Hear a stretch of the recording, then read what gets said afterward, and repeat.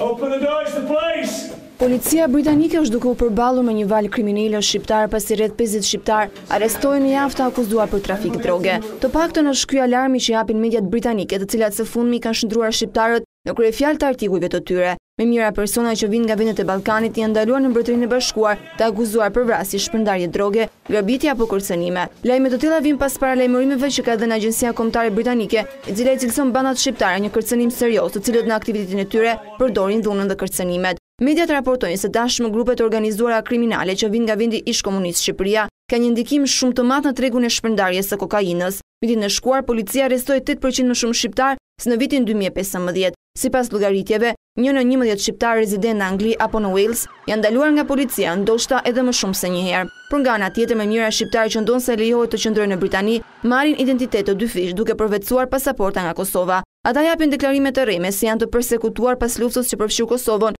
tetëmbëdhjetë vite më parë. E këta mashtrues, siç i cilëson media, tashmë janë shtrirë edhe në tregun e shpërndarjes së lëndëve narkotike dhe në rrjetin e prostitucionit. Janë edhe deputetët britanikë ata që shpeshherë ngrenë alarmin ndaj shqiptarëve. Deputetja Jane Collins nga radhët e UKIP u shpreh se numri i shqiptarëve ilegalë të arrestuar për krime demonstron se kufijtë britanikë janë duke mos e përmbushur qëllimin e tyre. Grupet e trafikut janë duke zhvilluar çdo ditë mënyra dhe strategji të reja për të transportuar ilegalisht njerëzit e tyre në Britani, Edhe agjencia kombëtare i ka cilësuar shqiptarët një grup kriminal të rrezikshëm, deklaron ajo. Deri në fund të qershorit rreth gjashtëqind e dyzet e nëntë shqiptarë janë arrestuar, duke u shndërruar në grupin e tretë më të madh kriminal në Britani, çka duket se ka vënë në alarm mediat dhe autoritetet britanike.